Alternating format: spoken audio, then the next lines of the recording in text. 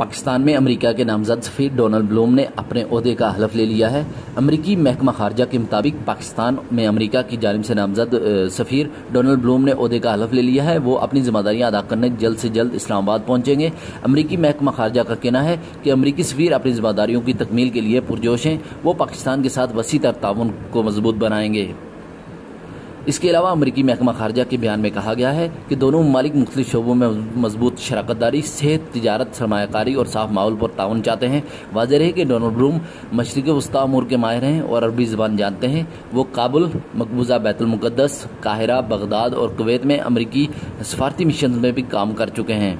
ये थी M development जो अभी सामने आई है। मजीद न्यूज़ और अपडेट्स के लिए आप हमारे यूट्यूब चैनल को ज़रूर सब्सक्राइब करें और और हमारे साथ जुड़े रहिए।